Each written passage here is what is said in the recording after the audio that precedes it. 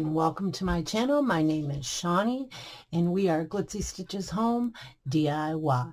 If you're new to my channel, welcome. If you're a returning subscriber, welcome. I hope everyone's having a fantastic day.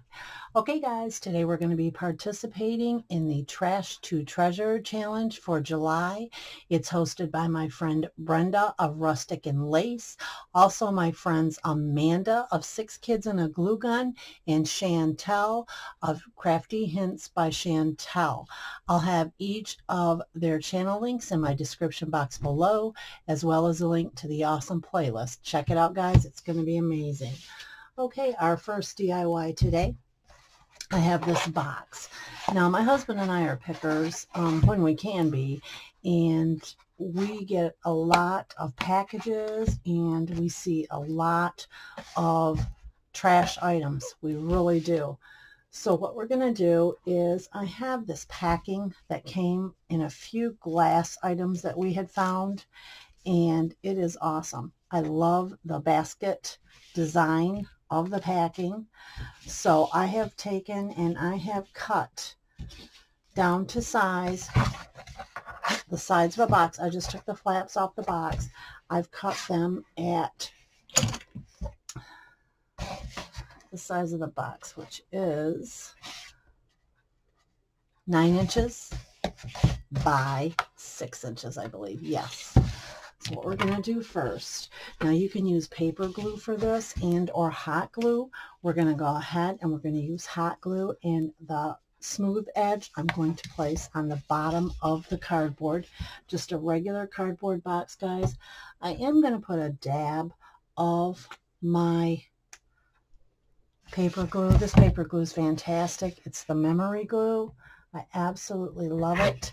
It is by Aleene's and it works fantastic. And it adheres very fast. I'm going to go ahead, just like so. I'm also going to place some hot glue just for that added extra security. My hot glue gun hasn't been used in a minute. So we're getting all the luscious glue strings. All right, just like so. We're going to place it. Super, super simple. Just like so. You repeat that on the opposite side.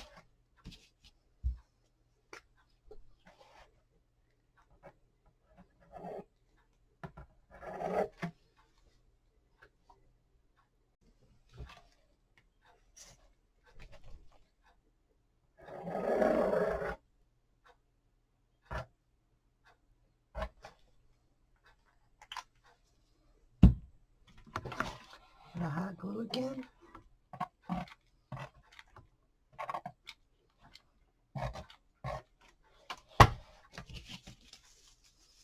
And again, you want that rough edge on the top. Nice and even, just like so. And we're going to go ahead and we're going to repeat this on our ends, just like so.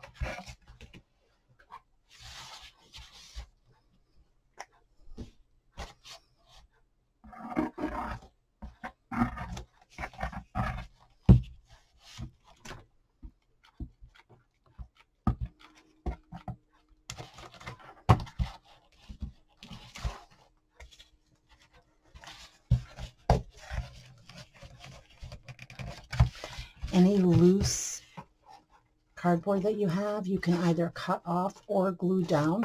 Your choice. I'm going to go ahead and just tack this down with some hot glue right here. Go. Just like so. And we want to repeat the same on the opposite end as well. I absolutely love the way that looks. Now we're going to go ahead and we're going to grab some rope. This is some rope I purchased at Menards here in Michigan. I'm just going to cut that off even. What we're going to do, I'm going to run some hot glue and I'm going to make this even and run it right down the corners and cut it off at the edge of the basket. go ahead, run my hot glue work this right in even with the top and right down my corner like so. And your rope does not have to go all the way to the top, and I'll show you why. You want to make it even with your box. If you need more glue, go ahead and use it, just like so. Now, I'm going to simply go ahead and I'm going to cut this off, just like this. This would be a great little basket to make if you need one for real quick for a get-together, a picnic this 4th of July, just like so. Love that look. It's fantastic. And we're going to go ahead and we're going to repeat this on each corner. And just like so. See that fits right in there. I'm going to go ahead and add some more hot glue right here. There we go. Just like that. Okay. Cut this off flush with the bottom. There we go. Now what we're going to do is we're going to go ahead and we're going to add the rope around the top of our basket. Just like so. I'm going to make this nice and tight. So it's a nice straight edge. And again, you can use your paper glue if you'd like to because this is cardboard. go ahead, we're going to go right against the top, nice and tight. Don't worry about any glue spillage you may have because that's going to get covered up. I'm going to go ahead just like so. You want to press down. There we go. Just like that. Okay.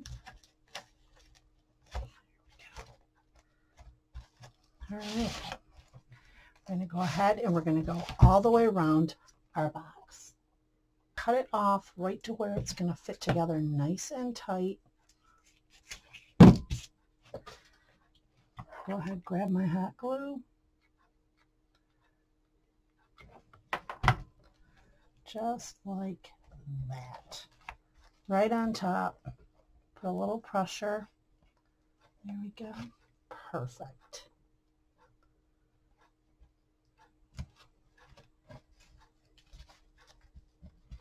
And for our handles, cut off two 7-inch strips of our rope. Now what we're going to do with this is I'm going to eyeball this and we're going to place this nice raw edges right on the outside of our basket for our handles. We want to do this nice and even. So I'm going to go ahead, apply some hot glue right here, right here, place my handle right there. We're going to let this dry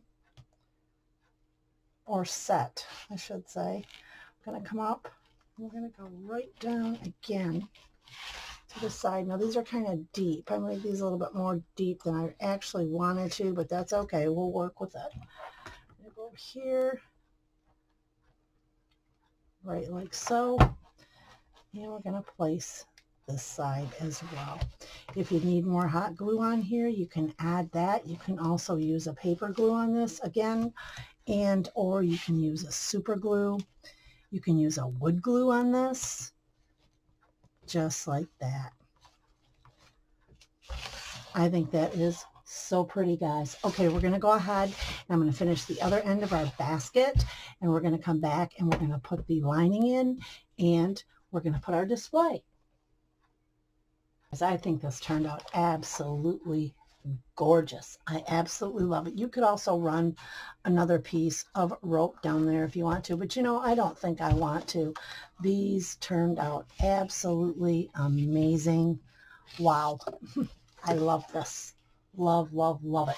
You can also take your lighter and burn off your extra thistle thing, you know, the extra rope around it, but I like that look. I just do. I like that rugged look. Now what we're going to do is I have, seems it's the 4th of July. I have this towel that I purchased at the Dollar Tree a while back. It's the red, white, and blue one. Now what I'm going to do is simply tuck this in because we want to be able to interchange this. We want to be able to change this up for different holidays, different picnics, what have you. So we're going to go ahead and we're going to set this right in here like so. A red, white, and blue basket. And I'm going to add a few little lemons. Now this is just going to be a display. Again, you could actually, this is, you can make this function. You could put a liner in this and you could put um, rolls in here or whatnot, dinner rolls. You could put uh, bread, um, anything dry, any dry product actually. But I think this turned out absolutely amazing. Okay, we'll be right back with the final look. And there it is, guys. Who would have thought a box, some packing material, and some rope. I think this turned out absolutely adorable.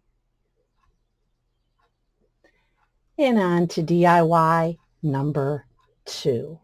For DIY number two, I have these that I picked up in a freebie bin at a local pick, and I think they are absolutely beautiful. Obviously vintage, and I'm going to leave them just as is. They have some spotting on them and such. It just adds to their character. Love it. So we're going to take a piece of the plank wood that I purchased at the Dollar Tree. I'm going to go ahead and I'm going to actually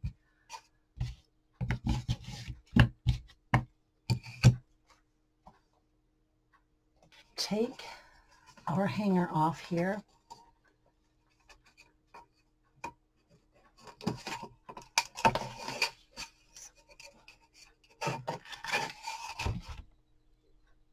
and we are going to dry brush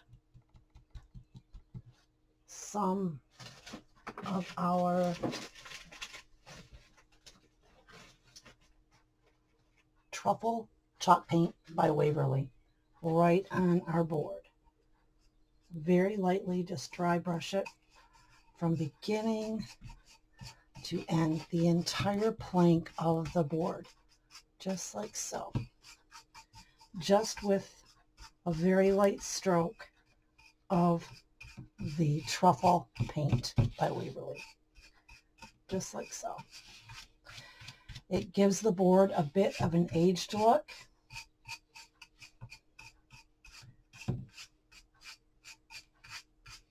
There we go. We're going to let this dry. Now that this is dry, we're going to go ahead and we're going to place our little figures right on our board. Now we want to get these nice and I'm just eyeballing this. You can measure this if you want to. I'm just going to eyeball it today. And I think that looks pretty good. So what I'm going to do, you can take a wood glue. You can take a fabric glue actually, or you can take hot glue. Now today we're going to go ahead and we're going to use our wood glue that I purchased at the Dollar Tree and some hot glue as well. Take that out of there. Turn this around. Some wood glue on there, just like so. And the hot glue is going to give it that right now hold, guys. This wood glue will give it a permanent hold. Go ahead, get our hot glue. You want these nice and straight on our board, just like so. Perfect. There we go. Now we're going to go ahead and we're going to place the bottom one before we place the center one. The reason being is that it gives it more of a balance. It's easier to place your center block that way. Gives more of a good look at where you're at with it. Okay. I try not to mix my hot glue and my wood glues. Keyword there is try. Okay, guys, just like so. Beautiful. Perfect. All right, that looks great. All right, now for our last one. Right in the center.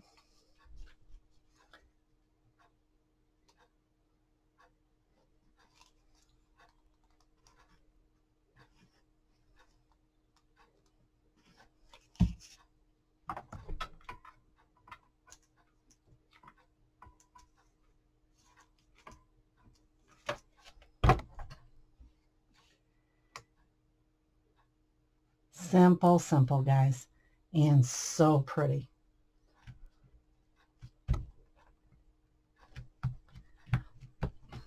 All right, what we're going to do next is I have some ribbon that I purchased at Hobby Lobby. It's a, like my mom used to call it a dotted Swiss. We're going to go ahead and we're going to make a little bow. Simple, simple, simple.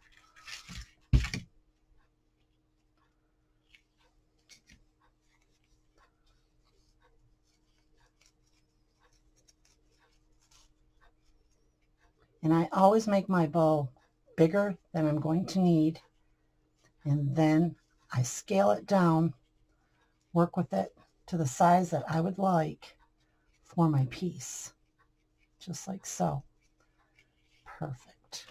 We're going to go ahead and I'm just going to angle these. I'm not going to dovetail these today. Just going to angle these like so. We're going to place it right here on our piece, right at the top. And to me, this screams vintage. A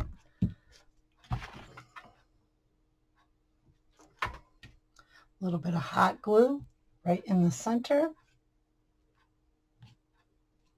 Adorable. I absolutely love the way this turned out. Okay, guys, we're simply going to grab our hanger, place it back like so quick, easy, and so pretty.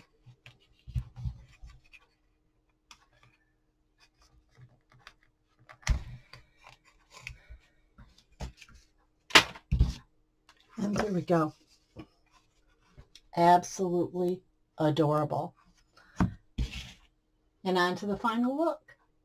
Oh my goodness. I think this one turned out absolutely adorable as well quick and easy and so vintage. And on to our third and final DIY. For our third and final DIY, I had some scrap zebra print paper that I had used a bit of, and I have one large 12 by 10 sheet of, excuse me, 12 by 12 sheet of good cardstock paper. And what I've done is I have scored this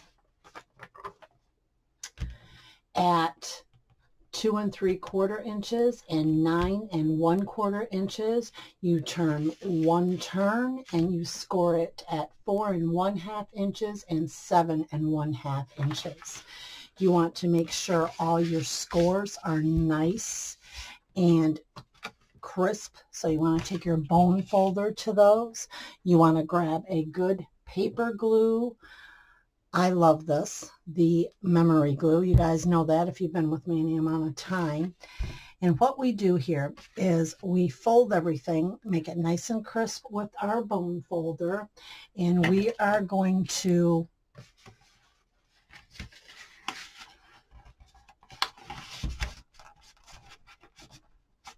push outward on the crease, bring it up, and accordion fold it, and you want to make your crease right inside.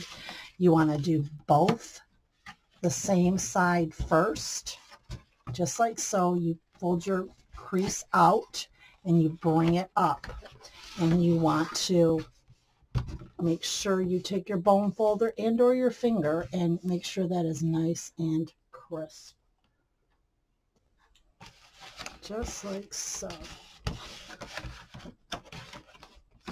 Now what we're going to do, as you can see, it already starts to form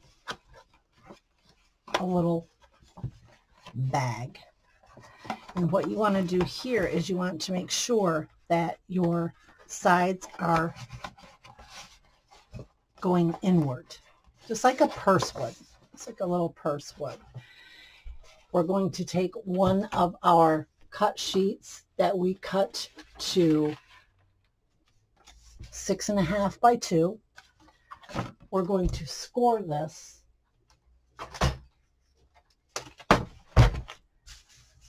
at one. While I've got my score out, I'm going to go ahead and do the same with the other Okay. And you want to fold these over like so.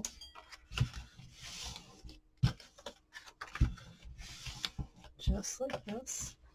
We're going to take our bag and form it up just like so. Now, you want to place your paper glue on each side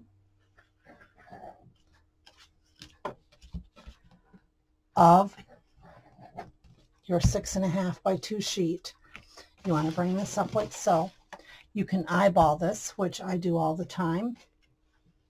You want to make sure that your paper is covering your fold on your bag. Make it nice and even. I'm going to take just like so. Can you see that? Just like this. You want to make sure that it's covering your bag. You're going to take your bone folder. It's nice and straight. And you're going to repeat that on the other side as well. Just like so. And all the time that I'm doing this, guys, I am continually making sure that we're going to have that bag form. I like the front of my bag to pop out a little bit. It just makes it look more like a genuine handbag. So what we're going to do is I'm going to take my Crop-A-Dile on the smallest setting. I'm going to go down to this line right here and I'm going to place my marker right there. And this makes it so simplified, guys. You just want to go right in the center of your fold, right like that. And you want to punch your little holes for your handles just right in the center of your fold. Other side too. Yeah, this works out so good. I haven't had a problem with this at all so far. So we're going to go ahead and we're going to do this. You'll also need four brads like this. Four little brads. I'm going to grab these right here. Okay. Now what we're going to do is we're going to go ahead and we're going to take our handles. And what we're going to do with our handles is we're going to grab our scoreboard again and we are going to right down the center. Now guys, sometimes this wants to go a little lopsided when you do it this way. So you want to make sure that before you put your glue on your paper for your handles, you want to make sure that it's not going to be lopsided for you. You can go ahead and you can just, I go right like this, just right like this. Follow that crease down to where I'm going to have a nice even handle and there won't be any overhang, just like this. Okay. This is a great way to use your scrap paper that you're just going to toss out, guys. I can't tell you how many times I've made the trim for my purses and my bags with this paper. Okay, now you want to go ahead and you want to glue these together just like so. All right, just like that. Bring that over, grab your bone folder, crease, crease, crease, crease, crease, and you can take and just go like this. All right, and guys, if you do go over a trim I did right here, you can just go ahead and take your scissors and go like this. Just trim that off. That's fine. There we go. Just like that. You want to go ahead and repeat that with your second piece for your second handle. And I have just taken the same width, the same size, and we're going to place our handle right down and punch just like so. Other side.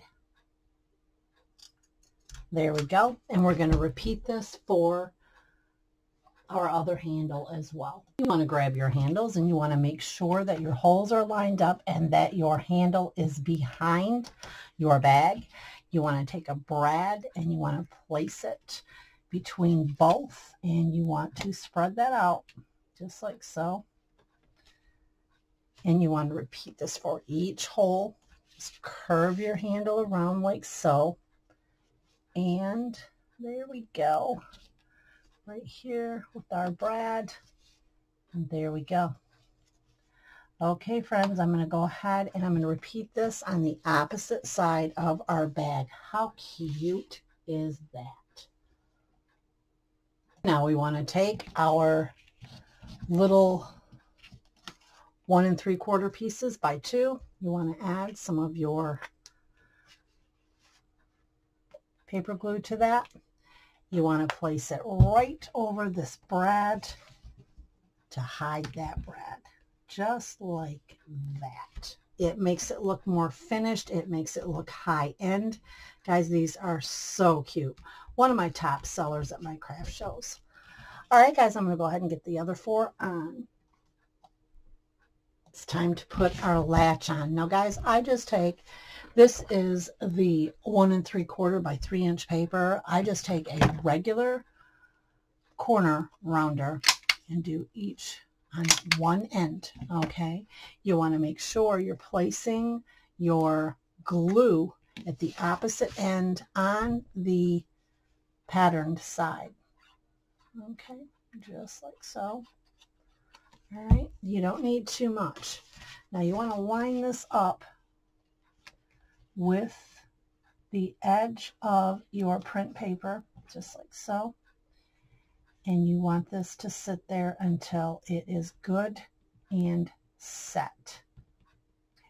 Just like that.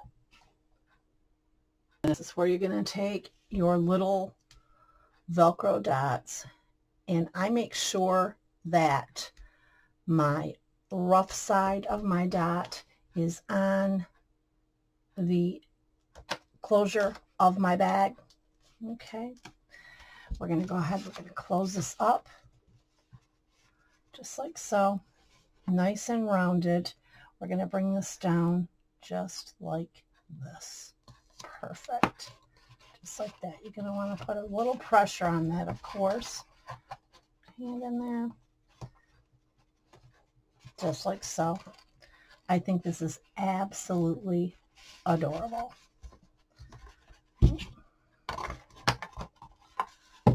Stick it nice and out. There we go, just like that.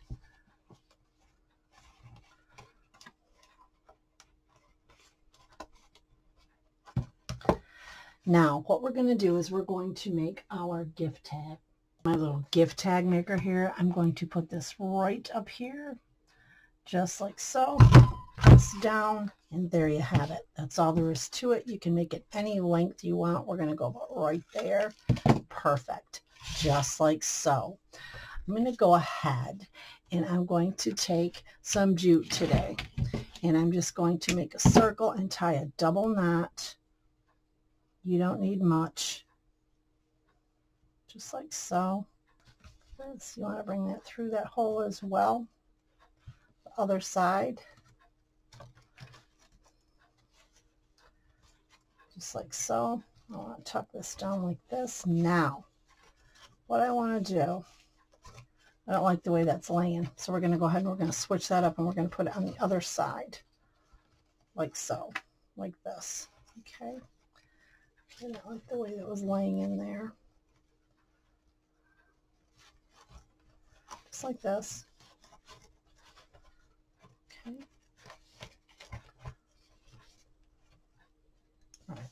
Now, what we're going to do is we're going to put a little jewel right here. Now I'm just going to go ahead and use one of the stickers from the Dollar Tree for this, guys. I absolutely think this one would look absolutely fabulous on this. I want to feel where my dot is. I want to go ahead and I want to press just right there. Right where my dot is. I'm going to go ahead and I'm going to release this very gently so it doesn't pull off the back side. It's like this. And we're going to go ahead and we're just going to press. Just like so. And there we have it, guys. I think this turned out absolutely beautiful. Be right back with the final look. And there it is, guys. I think this bag turned out absolutely amazing. You can also go ahead over here and put a bow or ribbon but I thought this one had enough going on today, so we're going to leave it just as is. I want to thank Brenda, Amanda, and Shantelle for hosting this awesome challenge. I've had a blast. And don't forget to go check out the playlist. Again, I'll have everyone's links to the host channels as well as the playlist in my description box below. Thank you guys so much for joining me today. Have a great day. Bye.